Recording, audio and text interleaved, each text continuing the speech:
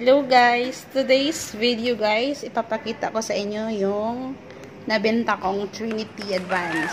Anong Trinity yan, Prince? Advance So, it's Trinity Advance Pro 2. 2. Yan siya guys. Yan. Sold by Arlene's. Wow! Sold by Arlene. So, itong Trinity, Adv Trinity Advance ay pang time, pang time trial na bike. Magkano yan, Prince? 155,000. So, components niya. Anong components niya? So, yung components niya, naka full Ultigra, Shimano, 11 speed, 11 speed. 11 speed. Yan, guys. Full Ultigra. Complete, complete package na po to guys. Kung mapapansin nyo, meron siyang lagayan ng tubig. Lagayan ng tubig. Dalawa. Yun yung saddle niya. Pang time trial din. Tsaka meron siyang meron na siyang hydration pack. Integrated na siya sa handlebar. Yan. Lagay ng tubig para pag nauhaw yung rider.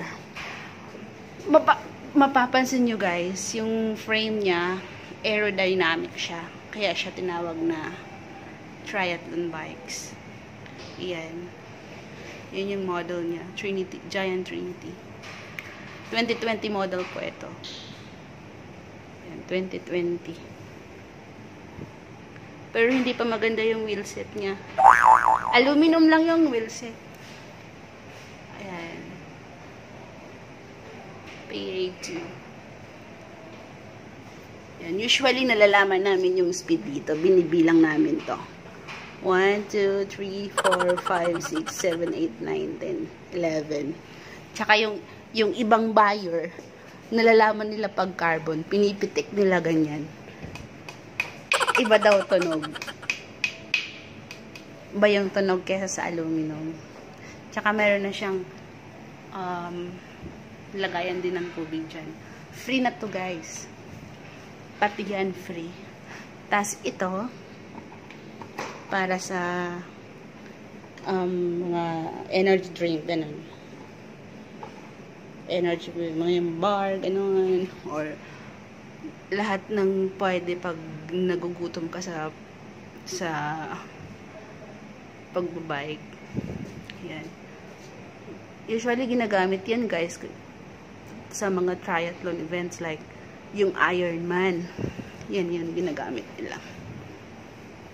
Yan. So, kakabili lang nito, guys. Ngayon-ngayon lang. Wow! Kung mapapansin nyo, sold. September 15. So, kota na naman kami.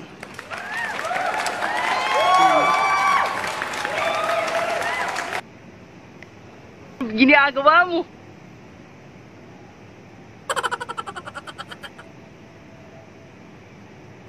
press fit bottom bracket na rin to guys. Tsaka yung crank niya power meter na rin. Hmm, ganda. So, ang swerte na nakabili nito. Siya palang meron yan. Nag-iisa pa lang yan na dumating sa Pilipinas. Wow! Yan na.